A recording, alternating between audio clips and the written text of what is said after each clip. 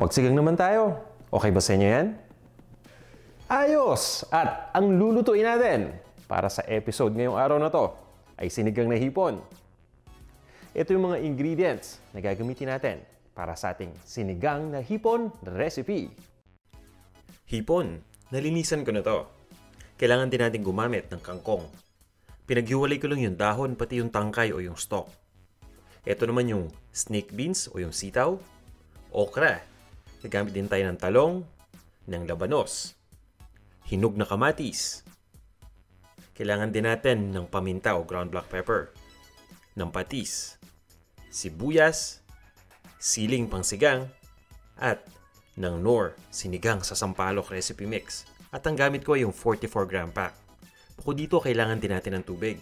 Ito naman yung kumpletong listahan ng mga sangkap. Sinama na natin yung sukat ng bawat ingredient ha, nang sa ganon ay hindi na kayo mahirapan sa pamimili. Gamitin sana nyo itong gabay.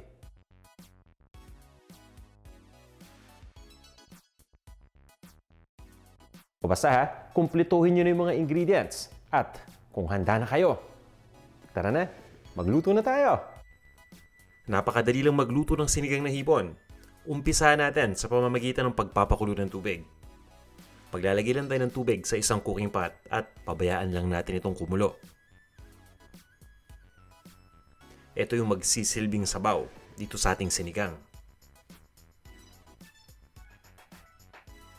At sa oras na kumulo na yung tubig, ilagay na natin yung onion o yung sibuyas at yung kamatis. Pagdating sa sibuyas, ang gamit ko ay dilaw na sibuyas. Itong kamatis naman ay hinog na kamatis na inislice ko lang into wedges. Ilagay na rin natin yung labanos. Takpan lang natin at pabayaan natin kumulo uli yung tubig. At ituloy natin ang pagpapakulo ng 8 minutes lang. Makalipas ang 8 minutes, kumapit na yung lasa ng sibuyas at ng kamatis sa sabaw. Medyo malasa na to, pero mas lalasa pa to once na nailagay na natin yung hipon. At eto na yung hipon natin. Nilinis ko na to at tinanggal ko na rin yung bituka. Kumbaga ginunting ko yung ibabaw na bahagi at sinungkit lang natin yung bituka ng hipon. Para talagang sigurado tayong malinis na malinis na to.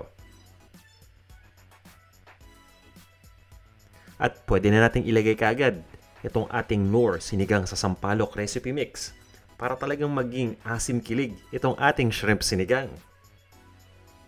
Ang gamit ko yung 44 gram na pack. Pagkalagay natin ng recipe mix, haluin lang natin mabuti. Pabayaan lang natin itong matunaw.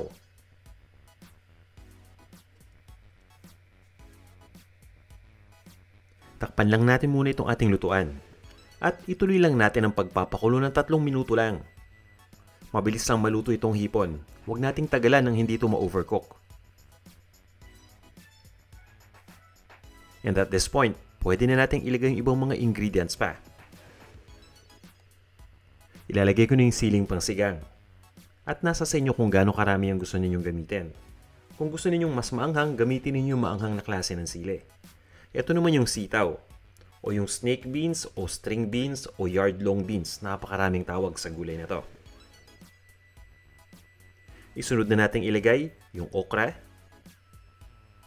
at yung talong. Pagdating sa okra, pwedeng buong okra. Kung medyo maliit lang pero kung mahaba yung okra, pwede ninyong hiwain ng katulad ng ginawa ko. Tatakpan ko lang at lulutuin ko lang to ng mga limang minuto pa. Ilalagay ko na itong tangkay ng kangkong. Hinuhuli ko to para medyo crunchy ng konti. At importante yan, napaka-importante na linisin natin mabuti itong kangkong bago iluto. Timplahan na rin natin. Maglagay na tayo ng patis.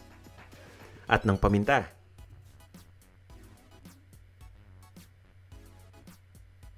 Haluin lang natin ito. Siguraduhin lang natin na na-distribute na mabuti yung ating mga seasoning. At pwede na nating ilagay yung dahon ng kangkong.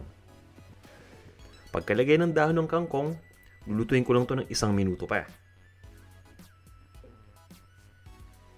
At makara ng isang minuto, ilipat na natin sa isang serving bowl. At iserve na natin to.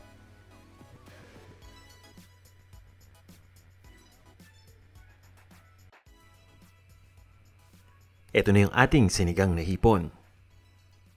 Natatakam na ako. Kaya tara, Kain na tayo!